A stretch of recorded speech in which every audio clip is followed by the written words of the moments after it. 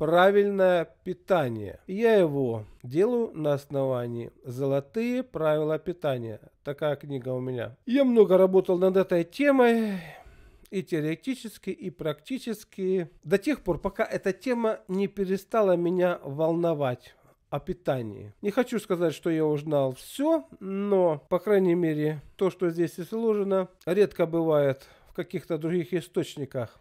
Итак, лекция первая о правильном питании. Что должен знать человек, который действительно хочет быть здоровым, познать себя. Питание должно быть правильным и индивидуальным. Множество толкований, разделений, названий и диет лишь сбивают человека с толку – хотя все это имеет место быть, но во всем этом надо разбираться. я прочитал множество книг по питанию и опробовал их рекомендации, что очень важно. В результате выбрал то, что действительно ценно и приемлемо. Это сокровищница перед вами. Воспользуйтесь ею разумно. Многое, что не написано о питании, прямо вытекает само собой, из текста. Что бы я еще добавил вот сейчас? Есть научные выкладки, есть, знаете, такие красивые, логические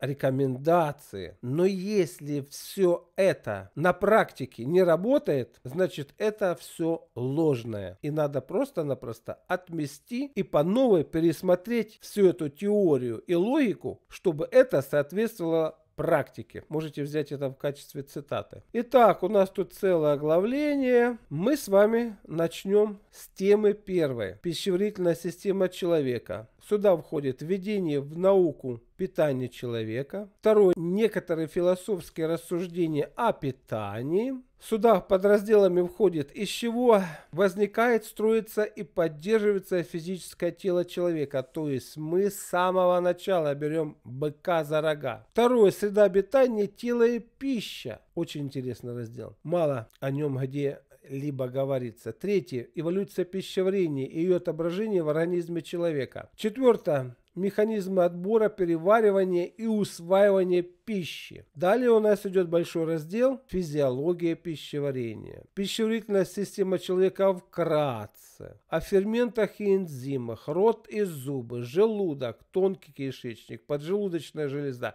печень, тощая тонкая кишка, устройство кишечной стенки, пищеварение в тонком кишечнике, толстый кишечник, кровь, кровеносная система, межклеточная жидкость и соединительная ткань. То есть, говоря о пищеварении, мы думаем, что это только пищеварение в кишках и так далее. Нет, в пищеварении участвует вообще-то весь организм. Регуляция потребления пищи, работа пищеварительной системы как единое целое.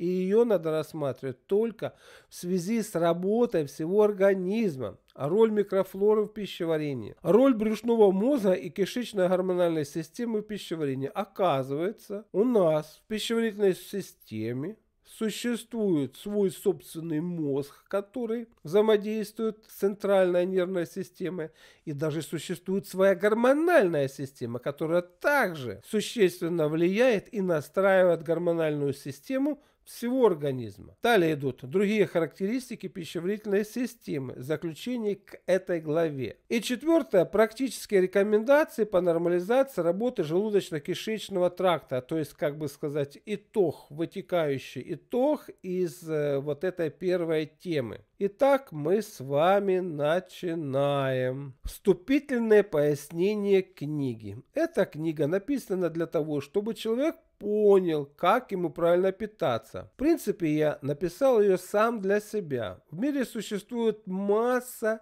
рекомендаций по питанию и ряду смежных вопросов, связанных с питанием. Невольно возникает первый вопрос. На какие знания необходимо опираться, чтобы собственное питание было правильным? Лично я для себя выделил пять главных тем. Первая тема Необходимо знать, как устроена и действует пищеварительная система человека. Это базовое понятие, без которого говорить о правильном питании просто нелепо. Вторая тема – взаимодействие пищи с человеческим организмом. В зависимости от вида, качества и способа приготовления пищи мы тем или иным образом влияем на организм. Надо выяснить, чем состоит это влияние, его положительные и отрицательные стороны. Зная это, мы уже с вами можем поддерживать здоровье, можем излечиваться от разного рода заболеваний.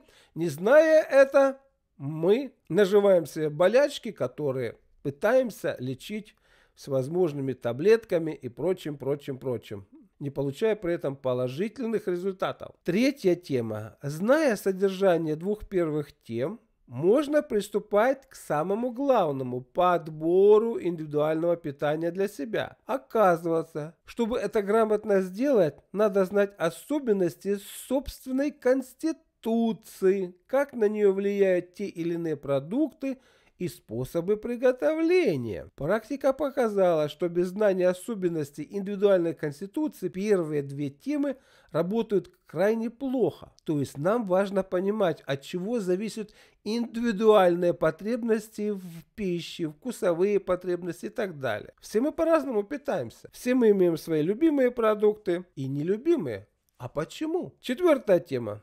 Существует целая отрасль знания о пищевых продуктах и правильном приготовлении пищи. Она бескрайня, но мы должны об этом иметь хотя бы общее представление. Эта тема дана в книге как краткий справочник, к которому можно обратиться в любой момент. Пятая тема. Практика применения питания в лечебных и профилактических целях. Вроде бы мы охватили все необходимые темы о питании. Но тем не менее, остаются некоторые вопросы, как питаться человеку во время болезни, в старости, что представляют собой биологически активные добавки к пище, вскармливание младенцев, что собой представляет макробиотика, прием пищи и религии и ряд других вопросов, связанных с питанием, вегетарианство, сыроедение, праноедение и так далее. Пройдя указанные темы, мы в целом поймем, как нам самим необходимо питаться, чтобы чувствовать себя здоровым в любой ситуации. А сейчас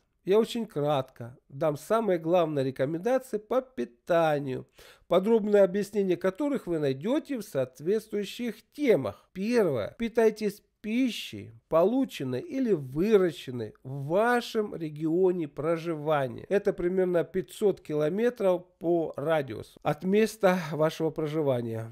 Второе. Старайтесь потреблять свежеприготовленную и вкусную для вас пищу. И желательно, чтобы она была цельная. Это очень важно. Третье. Кушайте тогда, когда проголодаетесь. Четвертое. Кушайте не спеша, тщательно жуя и хорошенько смачивая пищу слюной. Пятое. Почувствовав первые признаки насыщения, прекращайте прием пищи, вы уже наелись. Вот эти пять золотых правил питания помогут вам правильно питаться. Обоснованию их посвящена целая книга.